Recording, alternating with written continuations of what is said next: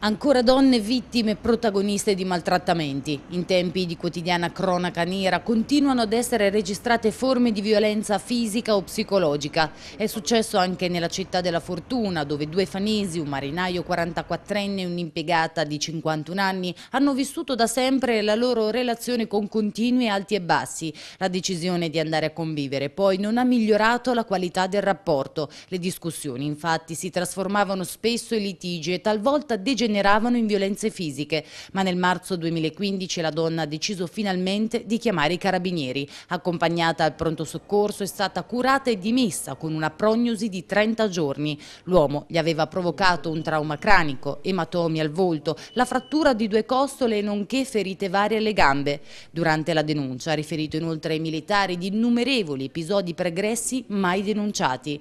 Due mesi dopo la stesura dell'atto, l'autorità giudiziaria ha emesso nei confronti del del marinaio un primo provvedimento di divieto di avvicinarsi alla vittima. Purtroppo però non ha ottenuto gli effetti sperati. Lui continuava a violare gli obblighi, provocando alla compagna stati di ansia e profondo sconforto. Fiduciosa si è rivolta di nuovo ai carabinieri ai quali ha raccontato il comportamento minaccioso e molesto del 44enne. All'ennesima segnalazione l'autorità giudiziaria ha emesso un provvedimento maggiormente afflittivo, disponendo la sottoposizione agli arresti domiciliari nei confronti dell'uomo i militari della stazione di Fano hanno dato esecuzione al provvedimento, così è stato tratto in arresto e condotto nella sua abitazione agli arresti domiciliari.